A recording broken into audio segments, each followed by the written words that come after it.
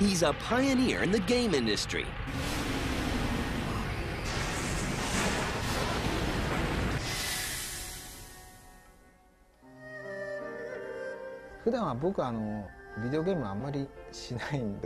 I don't play a lot of video games, so I was always interested in things outside of the world of games. Even today, that's where my inspiration comes from music, movies, things outside of the game world. He's a philosopher, he's an artist, he's a mathematician, he's a renaissance man. And he created something immortal. Virtua Fighter was a blueprint for a lot of companies on how to make a 3D game, and that was a huge deal. This was the first game that he created which had actual human characters. But along the way, there were challenges and doubts. I said, I don't know if I'll be successful, but of course, I'll give it a try. In the end, he created a new world that inspired others and redefined an industry. This is the story of one of the true leaders in the game industry, Yu Suzuki. He had an incredible, keen vision on what games are going to be in the near future. Yu Suzuki really was kind of like the Michelangelo of the video game industry.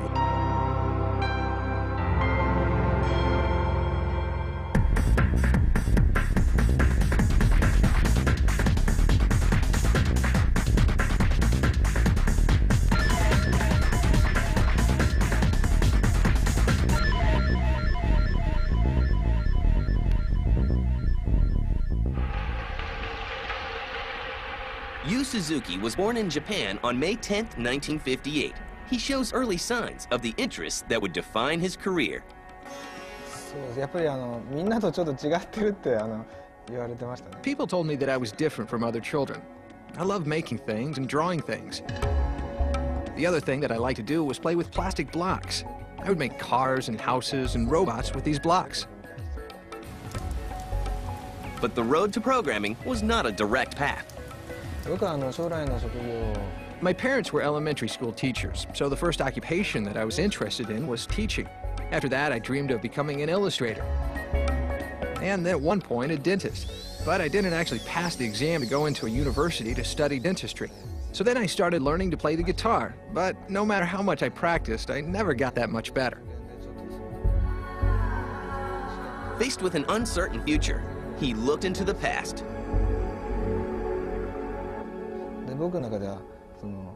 When I entered the university, I started learning more about programming. I realized that this was very much like playing with Diablocks as a child. You took different pieces and you put them together in different ways to make something new. After graduating from Okayama University of Science, Yu Suzuki begins to look for a job. When I originally came to the interview at Sega, it wasn't because I was interested in games. It was more because of my interest in programming.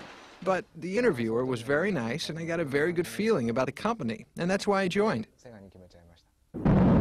In 1983, Sega is already a growing force in the video game market. Games like Zaxxon are popular in both the arcade and home console markets. When I entered Sega in 1983, there were very few people in development. Also, the offices were very small. Five people shared one table. It was that kind of environment. After working for two years as a support programmer, he's given a shot at producing his own project. To develop this game, I rode on motorcycles a lot. When we came up with the prototype, I would ride that prototype bike for hours and hours every day. He puts his efforts into a motorcycle simulation and his focus into an arcade cabinet. At that time, a lot of Japanese arcades, they had what was called coffee top table arcade machines. But then there was Hang On, which was this huge machine with a motorcycle stuck into it. Hang On and its innovative design quickly becomes a success in both Japanese and American arcades. You know, nothing stood out like uh, Hang On. When you walk into an arcade and then you see literally just a motorcycle thing that you can get on and ride in, it made video games more of a kind of uh, entertainment activity. It felt so real. You're going like this, and going like this, and leaning over. Oh, a little bit too much, a little bit too much. I'm gonna crash, I'm gonna crash. Bam! The level of immersion in that game was just unbelievable. Sega soon follows with another Yu Suzuki arcade innovation. Welcome to the fantasy zone. Get ready. Space Harrier was a game where you're basically spaceman type pilot and you're on a jetpack and you're flying all around this terrain and there's all these flying objects coming at you and you literally see on the screen a thing coming from a far distance and it gets bigger and bigger. There was really nothing else like it at that time. Yu Suzuki continues his success with two more innovative arcade games for Sega Afterburner and Outrun. Outrun's a driving game where you're driving a convertible Ferrari, you're outrunning your opponents, but this is not a racing game. This is a driving game where you got one hand on the wheel and the other one around your babe. You play a game, you know, in a chair, in front of a TV screen. And so just the style was so different and it was so exciting. He was also very aware of car physics. He had little touches in there like suspension, like braking, like skidding out. He was really creating this like, you know, sensation of driving a car. Yu Suzuki had changed the look of arcades with his innovative controls and cabinets, but there is still more to do. One of the challenges for us was creating something that resembled a gyroscope, where everything would move in that 360-degree way. And if you look at all the Yu Suzuki games, all the cabinets are huge. I mean, there are these monstrous, you know, cockpit for Afterburner, the motorcycle for Hang On. He knew that it was more than just a screen on a little table thing, that this was going to become an immersive experience. He had this incredible vision that the arcade industry is going to become more than just, you know, tabletop games. By 1991, Yu Suzuki is already a celebrated game designer, but his next move will put him head-to-head -head with an undisputed champion of the arcade industry. I don't think people thought that was going to be a big success. So yes, it was very difficult.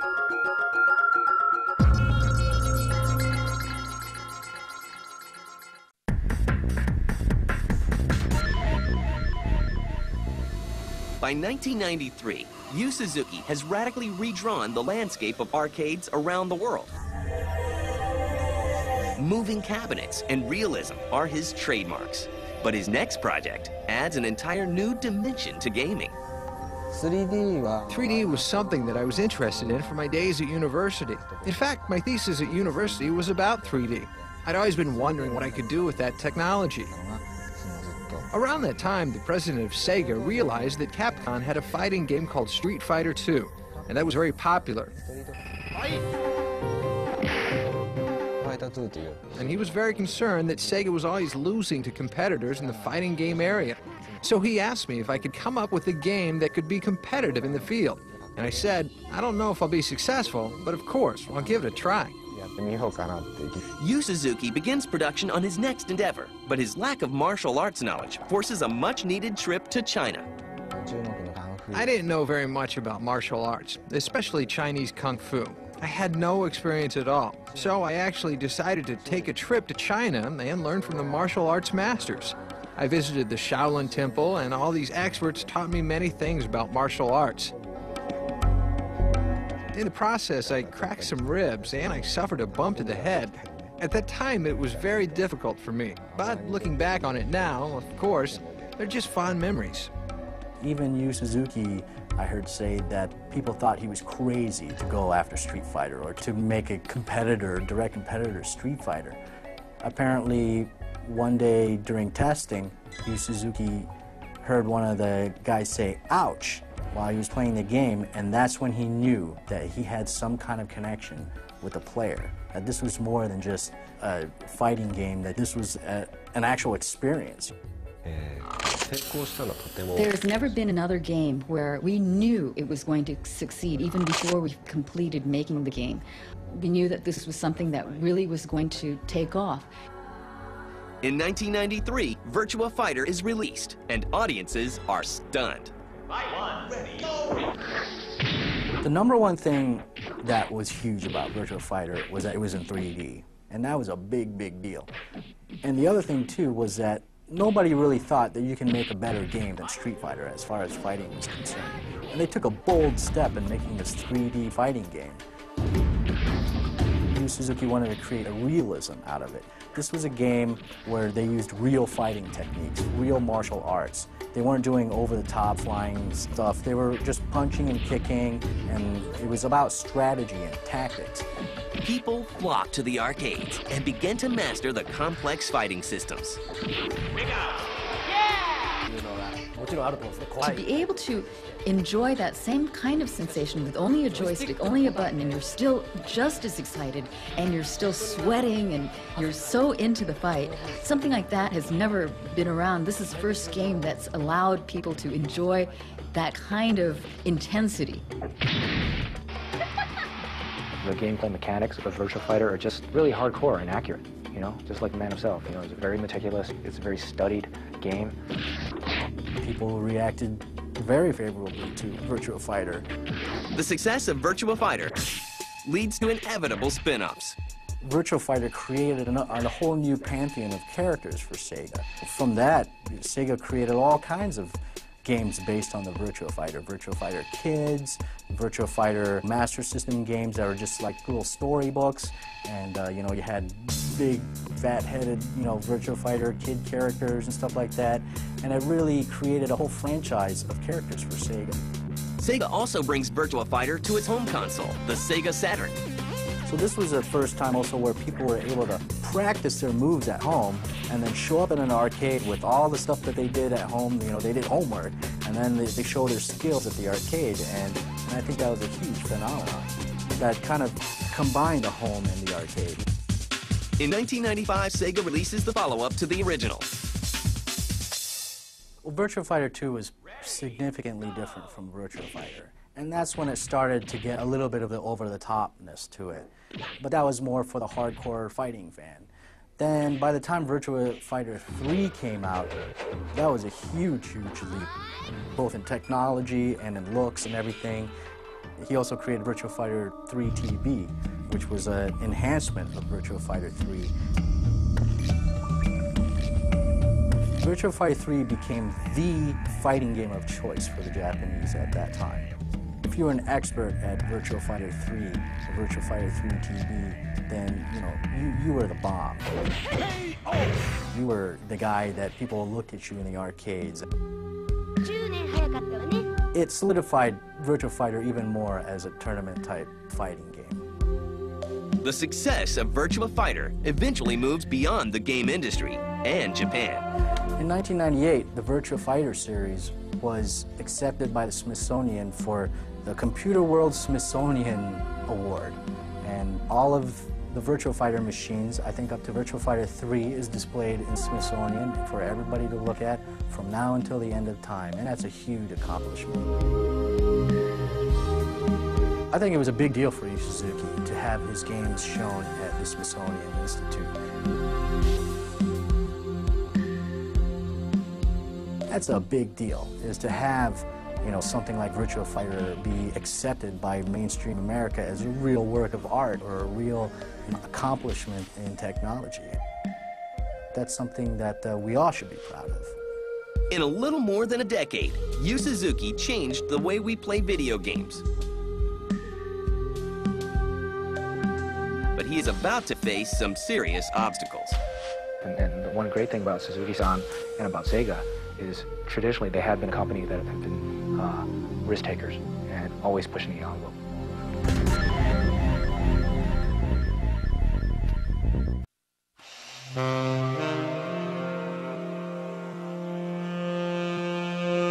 In 1998, Sega was developing their new console system, the Dreamcast. The power of the new system allows Yu Suzuki to bring a mere thought to life.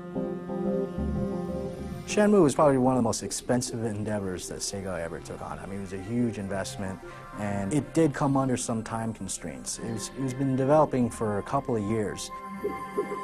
So when the Dreamcast came around, he basically started from scratch. I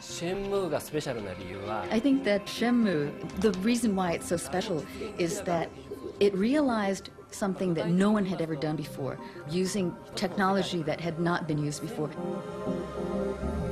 Well, I think Suzuki-san was very brave to take that on. I personally like, you know, sto stories uh, in games and games with kind of long story arcs, and I like the whole epicness of it. I, I like the fact that it aspired to be something so big was, I, I think, very refreshing.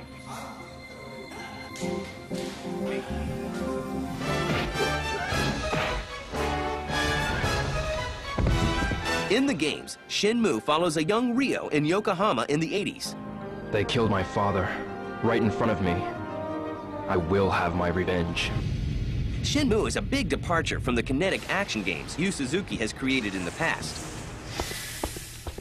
The game itself is this incredible wide open world that you can explore, you can buy things, and you get into a fight. Get out of my way. And there's virtual fighter type sequences.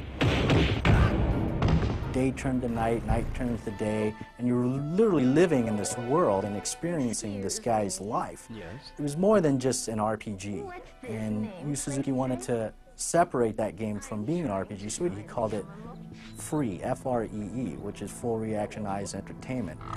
Yu Suzuki puts all his efforts into making the game as realistic as possible. He draws on his artistic sensibilities.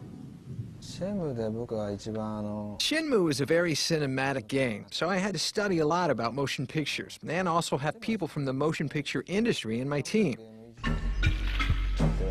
I was able to work with some directors and art directors and scriptwriters from the Japanese movie industry. I learned a lot from these people. I think Shenmue to Yu Suzuki as well is a culmination of all his efforts. It's a culmination of everything that he's done. And Yu Suzuki, who's a Renaissance man who enjoys art, music, all the good things in life, he put it all in one game. Shenmue is a success for Sega and the Dreamcast system. Yu Suzuki makes it known that this is only the first chapter of an epic 15-chapter story. The following year, the sequel, Shenmue 2, is released in Japan. Unfortunately, Dreamcast owners in America will never see it. Unfortunately, Dreamcast's fate was ill-fated, and uh, Shenmue kind of went along with it. Wait!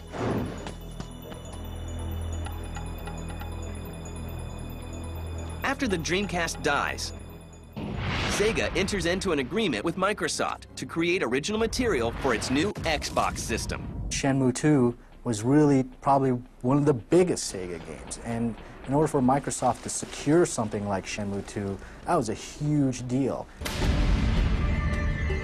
Shenmue 2 arrives on American shores in the fall of 2002. The Xbox version of Shenmue 2 for the US was put out by Microsoft. So there wasn't too much Sega or Yu Suzuki involvement in it.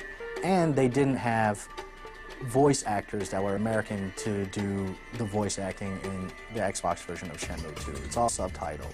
And I think that kind of demonstrates that maybe Yu Suzuki was a little bit, you know, put off that Shenmue didn't do too well in the United States on the Dreamcast after all the effort he put into it. Despite the ups and downs and the loss of a proprietary console system, Yu Suzuki remains at Sega after 20 years developing games. I think probably Mr. Suzuki has remained loyal to Sega for all these years because he's seen how Sega has grown along with his own career. So they have been growing together. You put on quite a show, boy. And with an innovative company like Sega, you know, it's a match made in heaven. The reason that I am who I am today is because I joined Sega. I, I like the place. I think that's why I stayed. And his artistry goes beyond games. Yu Suzuki is also an accomplished painter. I know Yu-san has many projects going on in his head constantly, Yu-san, as an artist, I think draws his inspiration mostly from his favorite things and also his hobbies, whether that's his Ferrari and many other things. He draws his inspiration very naturally from his favorite things.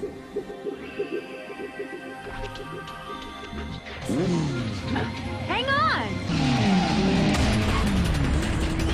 After 20 years of producing some of the most memorable games, games that changed the way we play, games that changed the industry, Yu Suzuki is honored for his contributions with the Hall of Fame Award from the Academy of Interactive Arts and Sciences.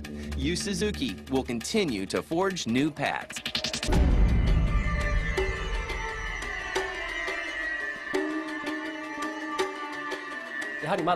His whole career has been one hit after another, and I know there's another hit just waiting to happen. I can't tell you what it is, but very soon there'll be a new product that will just completely change everything that's come before. You better not be lying.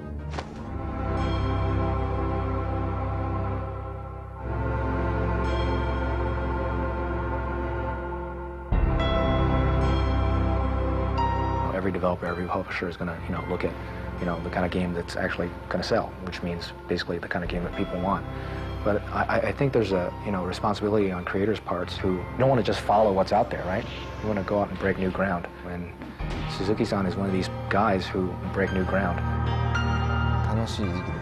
We're all filled with the feeling of what should I do now? It's a very exciting time for us, both for me and for my staff.